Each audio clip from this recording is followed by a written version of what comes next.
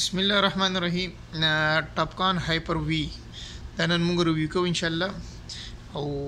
بالکل ډیر بهترین سیټ دی ډیر سیمپل دی په استعمال په یوز کې دا موږ بلا کولاو کو او دا موږ سره دا ټیپ دا زموږ سره مکمل ماشين دی په دې کې زموږ سره مختلف شیزو اولنې زموږ سره بیس دی او دا زنګ سره دا زنګ سره دا روور دی صحیح دا بیس دی دا روور دی دا دا بیس دا روور دا سلور بیټری دی زنګ سره او دا دو چارجر دی صحیح ده دا دوه چارجر دي د بیټري چارجینګ لپاره او دا زنګ سره کنټرولر دی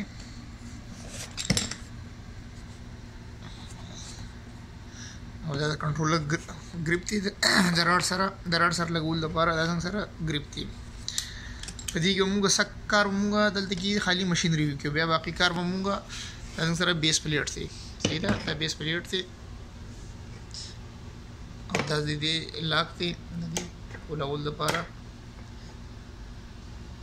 دا زمونږ به دا دوی موږ ته څه ټایم ضرورت پېښېږي چې دا کله موږ ماشین د پاسه ماشین د چاوله دا بیس پلیټ ولګو دا بیا موږ د ضرورت پېښېږي چې دا موږ ډایرکټ په دغه باندې سیټ کوو صحیح ده موږ فی الحال اوله بیس به موږ ریویو کوو دا زموږ سره په دې کې دا بقاعده انډیکیټ کړی دی صحیح ده نو په دې کې آی پیس آی پیس موږ آی پیس ته برابر کو دا موږ دلته کې خو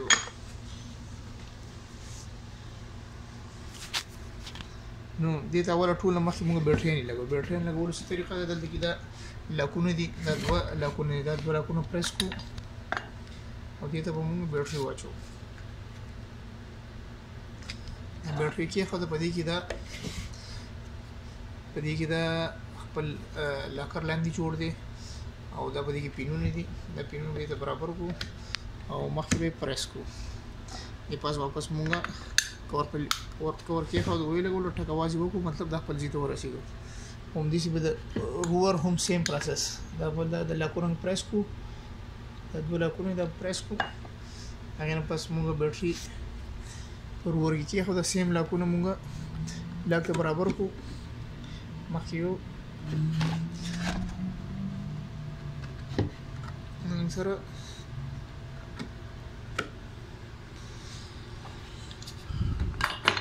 دا موږ پرس کو ټکواج وکړو دا موږ سره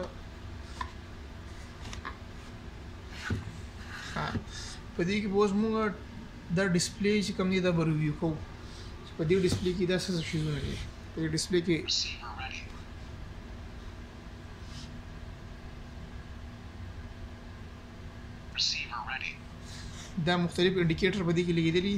دا زموږ سره ټاپکان ټاپکان چې کوم ریسیور دی کوم موږ سره چې کوم دغه دی کنټرولر دی هغه دی اف سی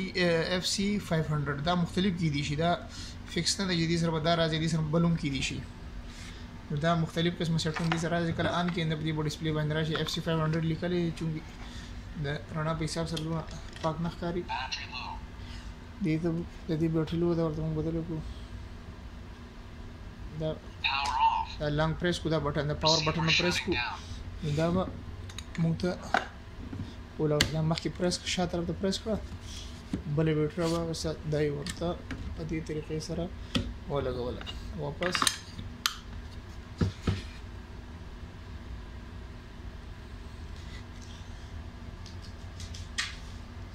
دا زموږ سره دا زموږ سره اف سی 500 دا زموږ سره کنټرولر دی دا زموږ سره بیس دی دا بیس او دا روور دی صحیح ده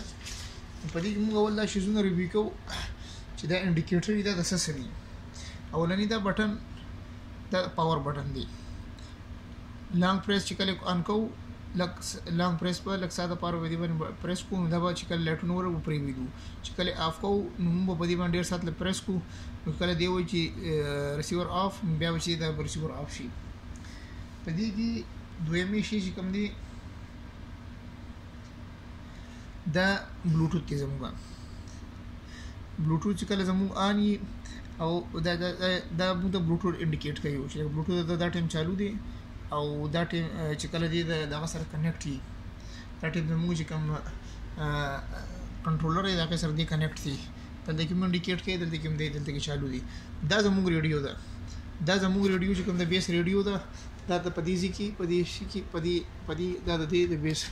دا دا د دا د ریډیو د پدیس کې د ریډیو فکس شي دا زموږ ریډیو ده صحیح ده چې لکه دا ټیم چې موږ د ریډیو سره کنیکټ یو دا بدل کې گرین راځي لیکن چې اوس موږ کنیکټ نه یو موږ ماشين نه دی لګولې دا ټیم دی دا یلو کلر چې دی دا انډیکیټ کوي دا بره دا سیریل بار دی دا چې کله په دغه باندې کار نه کیږي فرض کوم موږ بیس او رور باندې کوو لیکن چې ډایرکټ وای فای باندې کار کیږي نو پکې کې به دا شی ضرورت بخیږي دا زموږ سره میموري ده دا چې کم دی دا چې سونه میموري په دې کې چې سونه کم میموري کمیږي دا د چې کله بیا مش کمیږي دی بل د کې موږ انډیکیټ کوي چې د کې پته ماشين کې دونه میموري پاتې لیکن چې موږ په دې کې میموري کارت میموري نه لګېدلې دې کې دا د میموري خپل سلاټ دی دې کې دا د میموري لاندې سلاټ دی بیټری نه لاندې د کې سیټ د میموري سلاټ دی چې میموري کارت پکې نه دی لګېدلې چې میموري نه انډیکیټ کوي درېمې شي موږ دا سټلایټ دي چې کوم ریکوایرمنټ زموږ سټلایټ دي په هغه کې سټلایټو کې دا ټیم د سونه سټلایټ راټینګي کړی دي لیکن دا چې کله بیس او روور ټول کنیکشن نو هغه ټیم دا شي صحیح کوي چې اوس موږ په کمره کې نه شو دا نه خای کوي دا زموږ سره بیټری ده بیټری چې فول یې نو دا بالکل په اخري اشاره باندې دا زموږ انډیکیټ کوي لکه څونه چې بیټری کمیږي دوه بچیږي دا دی دا نشانه راکمي باقي دا زموږ سره ټایمر دی باقي دا پاور بټن دی او دا چې ګنه بلوټوث چې کوم هغه ډیوایس بلوټوث چې کوم ماډیول دی دا د هغې په باره کې د دا مو ته هغه چې کله کله هغې کې مسلې هم بدیږي چې دا بلوټوث کنیکټیوټي ښي او دا د بلوټوث ماشين کنیکټیوټي ده او دا بلوټوث موږ ته ښي چې په دې ماشين بلوټوث آن دی که آف دی دا د دې سیمپل لغه دی باقي د دې نور څه شي زونه دي باقي د دا د جدا په سونه ټمپریچر پورې برداشت کوي د چې کوم دي دا ټمپریچر تقریبا 60 ډیګري ټمپریچر پورې دی برداشت کوي او د دې کوم دغه دی او دا چې کوم دغه باندې په کوم معیار باندې جوړ دی هغه دی آی پی 67 آی پی 67 آی پی چې 67 مطلب دا دی چې لکه دی دا ټیم چې کوم دی دی ډست چې کوم دوړه د خاور ده یا اوب چې کوم دی دا غنه دی محفوظ دی نو دا د دې چې کوم معیار دی 67 دی دا لکه مضبوط سیټ دی دا غوډار شي د ماتېدو خطرې هم نه او د اوبو د تلو کور اوبو ته تلو خطرې هم نه باقي زنګ سره پدې کې نور نور زنګ سره پدې کې سړي نور پدې کې زنګ سره دې کې دا چې دا زموږ پدې کې سپیکرې لګېدلې دي دا سپیکرې دي چې دا موږ ته کله د بیټري پدې کې لوی یا بل څه ایرر یا بل څه پرابلم وي دې موږ ته د دې د د سپیکرې دي دا هم په رور کې شته هم په بیس کې شته او دا باقي د دې ډیټا کیبل دی دا ډیټا کیبل د دې دی دا پورټونه دوه جوړ دي دې سره کنیکټ کیږي دا چارجینګ کار هم کوي او د ډیټا ترانسفر کار هم کوي نو باقي دا بیس پلیټ دی دا بیا چې کوم په سایډ باندې ماشين سیټ کوو ماشين برابرو نو هغه ټیم بیا د موږ ولګو او دا په دې باندې بیا موږ د دې چې دا دا به څنګه سیټ کوو ټول هر سیستم دا دا غي دی دا په دې کې لاک دی صحیح ده دا ټینجن لاک ورته وایي او باقي دا چې کوم دی دا زموږ سره په دې د بې سره بې چې کله موږ په په بیس پلیټ باندې موږ یږدو دا دا دې په منځ کې بریج کار ورکوي صحیح ده دا موږ سره دي سي بیا دا کنه پس دا به موږ په ماشين باندې سیټ کیدو ولګو دا چې کله موږ دې په سایډ باندې کار کوو نو هغه ټیم بیا موږ سیټ اوټ سټیک اوټ او سروي نور څه قسم دي دغه یې هم موږ کوو باقی په دې کې چې کوم پروګرام دی لکه څنګه چې دوی چې دی چې کوم وینډوز وینډوز ده دا کې چې دا غي پروګرام نوم دی د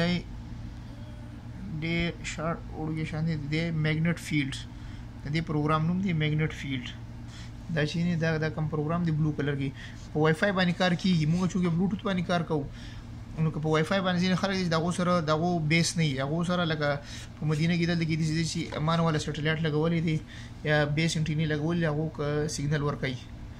نو په غزي کې دا وای فای کار کوي او چې به موږ په دغه باندې کار کوو موږ به د میګنیټ فیلډ باندې په بلو کلر باندې کوم دی دا میګنیټ فیلډ دی چې په دې باندې کله پریس کوو موږ ته به هغه کولاو شي لیکن چې اوس موږ په سایډ باندې کله کار کوو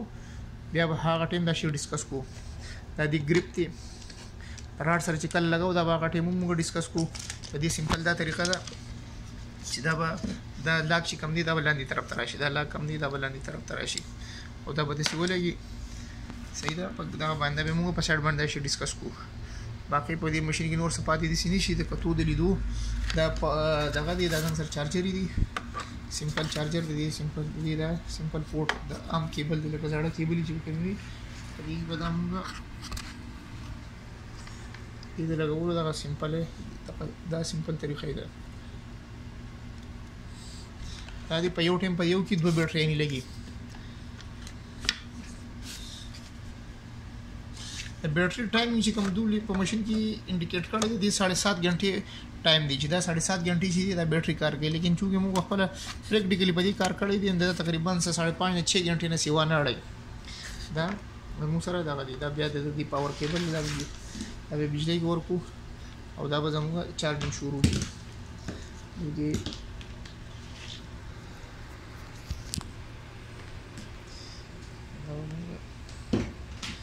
Hello. Wow.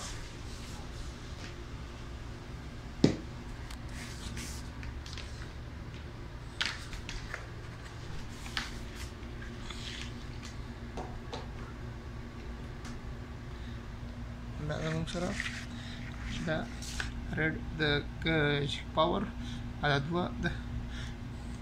زموږ چارجینګ دا زموږ سره باقي ماشين دی دا موږ چې دا د پاور بټن دی په دې کې پاور بټن باندې آن شو په دې باندې آف شو صحیح ده دا اوس موږ آف کوو په دې باندې وزور کو په دې پریس کو لنګ پریس کو دلته کې دې موږ ته څه وایي دې موږ ته وایي چې ریسیټ کوي ریسیټ مطلب لکه ریسټارټ او پاور آف کې یا ډیسیبل ټي ایس یا دا مختلف آپشن دي بس چې آف آف کې د سیمپل دا طریقه ده دا سیمپل دا طریقه ده ماشین آف کوو بیس لانګ پریس دا ورور موږ اف کو باقي مزید په سایډ باندې بدی باندې موږ کار وکړو د دې هر قسم معلومات په دې کې جسه دي دا په هر څه سره موږ ډیسکس کو ان شاء الله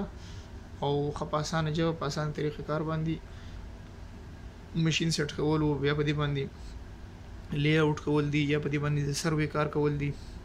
نو چې څه قسم په دې باندې کارونه کوو هغه بیا موږ په سایټ باندې ډیسکس کوو دا خالی د ماشین